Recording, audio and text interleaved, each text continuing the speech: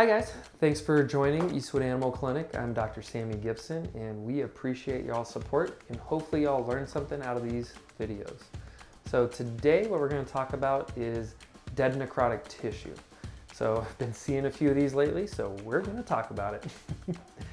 so what that means, or a lot of times when it happens, when I see it, it's from a traumatic dogfight or hit by car issues or when they've been dragged behind a car unknowingly or intention mutilation of a patient. And if anybody sees that, call your law enforcement. It is a federal offense and they can get in a lot of trouble and go to jail.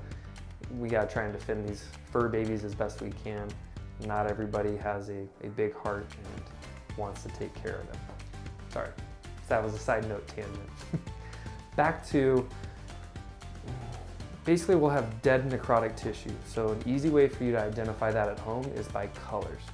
Um, where this doesn't quite work is if your patient has dark pigmented skin or black skin. Don't see very many patients with that, but they are out there and they do exist. If you got one of those dark skinned patients, this won't really help you real well with the color. So on most of our patients, they either have white or pink skin or a lighter tone, kind of like a grayish tone. So what you wanna look for is margins. Margins are gonna be the edges of it, kind of think of it as the perimeter. So if we start getting black, black is not good. Black is death, death signs, necrotic tissue.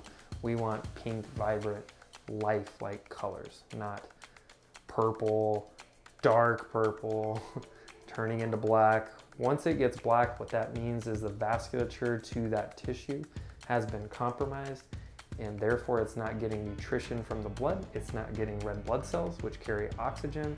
Therefore, you aren't getting nutrition and you aren't getting oxygen, those tissues die.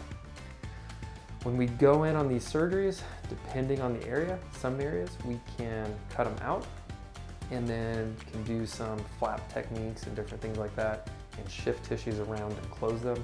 Some of them get so big, we don't have enough tissue on the patient to close the flap, and that's okay. We go in, we cut out the dead tissue, throw that away. We want to do that because dead rotten tissue will become a source of infection and that can get pretty toxic to these patients and can ultimately kill them. So we do want to address it and stay on top. Once we go in for our surgical debridement, we'll find our margins, cut it. Usually we'll check for keep cutting till we get blood, till something bleeds. When it's bleeding, that's when we usually have healthy tissue. If it's not bleeding, it's because it doesn't have blood supply, because it's probably dead or dying tissue. So cut that out. And then if it's too big, you manage it by what's called second intention healing. And there's a whole process to go through that. A lot of veterinarians go through that in different ways, multiple ways to do it. A lot of them work really, really well. So to each their own. So watch out for those big black areas that are growing. Usually it's gonna be after some form of a traumatic event. So watch it close and then follow up with your veterinarian guys if it's still there or growing. We'll see y'all next time. Hope you learned something. Bye.